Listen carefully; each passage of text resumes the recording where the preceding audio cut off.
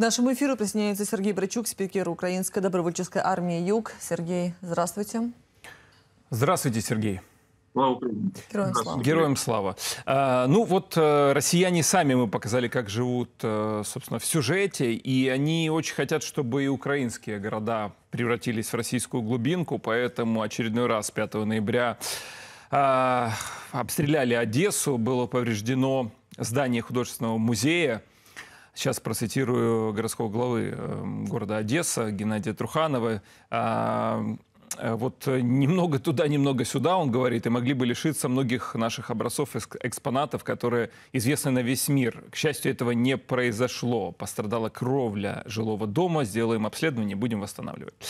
А, так вот, да, поврежден водопровод, в том числе и так далее. Будьте добры, э, расскажите детали, которые, возможно, еще неизвестны, или детали, на которые стоит обратить внимание.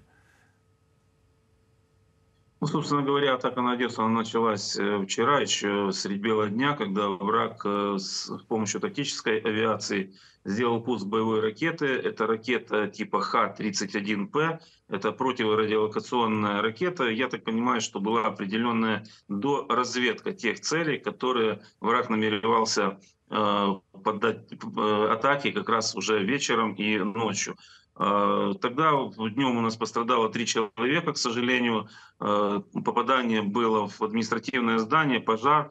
Э, э, спасательные службы отработали хорошо. Ну и, собственно, потом появляется информация. Это такая небольшая хронология. Информация о том, что в очередной раз враг пытается атаковать нас дронами камикадзе типа «Шахет». Снова территория временно оккупированного Крыма. Кстати, вот этот фактор Крыма временно оккупирован, он присутствует практически в каждом обстреле Одессы. И когда мы говорим о дронах камикадзе, и когда мы говорим о крылатых ракетах. В данном случае сигнал воздушной тревоги у нас э, прозвучал фактически после того, как уже э, враг атаковал баллистикой.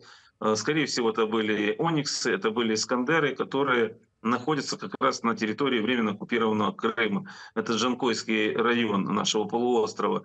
Ну и, собственно, вот эта баллистика, это было началом того большого воздушного боя, в котором сражались шахеды и отбивали эту атаку, защищая наше небо, наши земли, наши силы обороны, в частности, воины противовоздушной обороны, мобильные огневые группы и все те подразделения, которые э, задействованы в таких э, случаях. 15 шахедов сбито из 22. Показатель очень хороший показатель большой эффективности, но очередной раз говорит о том, что э, нам необходима помощь э, в системах ПВО, и я знаю, что сегодня эти пакеты военной помощи от разных стран мира Украине, они как раз, у них и есть приоритет, это системы ПВО, которые, уверен, появятся в том числе и на юге нашей страны. Ну и, собственно, вот эта атака, она была, конечно же, по портовой инфраструктуре, это мы прекрасно понимаем, и э, что-то, к сожалению, пролетело. Э, удалось врагу попасть в определенные складские помещения, повредить автомобильную технику, которая, кстати, была под загрузку, э, потому что это техника, которая используется для перевозки зерна. Там, кстати, зерно в очередной раз наша украинская пшеница сгорели в этом огне вражеской атаки. Ну и, собственно, прилетела в центр города. Исторический центр нашей Одессы – который находится под куполом ЮНЕСКО, и который, к сожалению, сегодня этот купол не может защитить от э, варварских террористических атак Российской Федерации. Художественный музей. Семь экспозиций э, получили повреждения. Получило повреждение и само здание. Большая воронка образовалась э, рядом со зданием музея счастью, пострадало лишь 8 людей. Это осколочные ранения, потому что в 20 домах в округе э, разлетелись э, стекла, повылетали окна, и много еще работы и коммунальным службам предстоит. Э, один из трамвайных маршрутов не будет сегодня функционировать. Э, он будет идти по э, другой локации, потому что ну, воронка действительно очень большая, и все ее видели. Вот, кстати, насчет воронки хотел бы отдельно сказать, потому что если одесситы реагируют в большинстве своем на сигналы воздушной тревоги, если это не баллистика, да, баллистика, к сожалению, очень сложный вид оружия. Так вот, публикация фото и видеоматериалов произошли буквально сразу после того, как э, прилетела эта вражеская ракета, что в свою очередь, как всегда, обычно используется и российскими пабликами, и, собственно, э, корректирует тот огонь вражеский, который они ведут по Одессе, по южному южной части нашей страны. Я думаю, что тут службы соответствующие разберутся. И, кстати, надо дать должное одесситам, очень э, такие добротные материалы они присылали, кто мог это сделать, то есть и в социальных сетях и так далее и тому подобное. Ну и, собственно, заканчивая тему крымского следа, хочу сказать, что информационное сопровождение этой атаки началось буквально после пусков э, Ониксов и Искандеров с территории Крыма.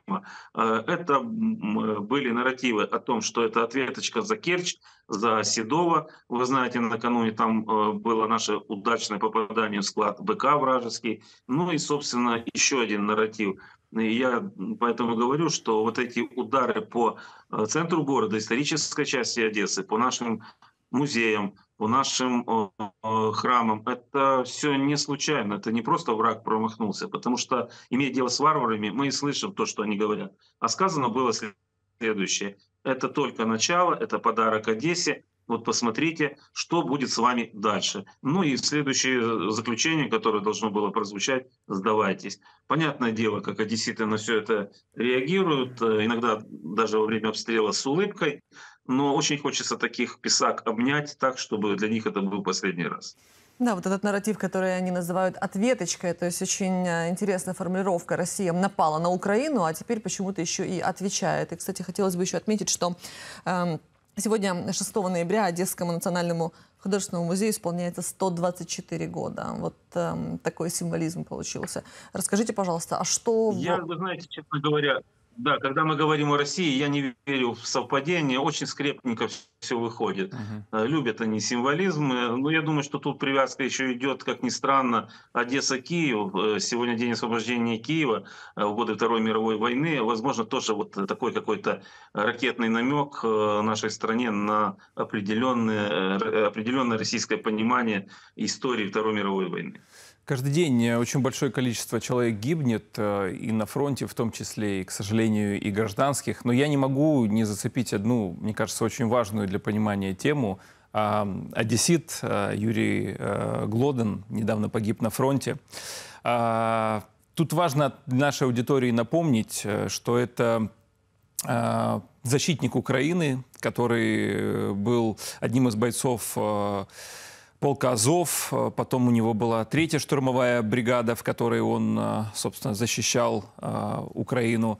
А в прошлом году, 23 апреля, к нему пришел русский мир в его жизнь, и при попадании в жилой комплекс, где жила вся его семья, его по случайному стечению обстоятельств не было в этот момент дома, но погибла его жена, дочь маленькая и теща. То есть фактически вся его семья была уничтожена российской ракетой. После чего вот сейчас он сам погиб на фронте. Опознали а, его История, которая показывает, в принципе, что Россия привнесла в Украину и что она принесла в конкретную жизнь, конкретной семьи, конкретного человека и в том числе одессита. А, напомню, что россияне называют постоянно Одессу русским да. городом. Вот скажите, как одесситы восприняли эту историю? А, опять-таки, вроде как, да, трагедии очень много, но вот она какая-то особо показательная. Можете об этом рассказать? Мы не зря говорим, что Одесса, пусть на меня никто не обижается, а, Одесса большая деревня, но это в понимании того, что мы все очень большая семья.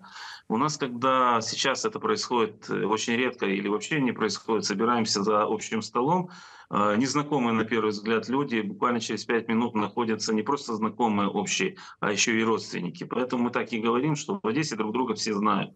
Можно не знать человека, но когда, как в данном случае Юра погиб, э, я не знал этого человека. Да, мы знаем всю, всю эту историю. Э, довелось даже видеть эту ракету, которая летела и сделала потом этот крюк э, в Тирос. Для нас это для каждого личная трагедия. У нас за эту войну у каждого, и я не исключение, у всех есть личные трагедии, связанные с полномасштабным вторжением Российской Федерации в Украину.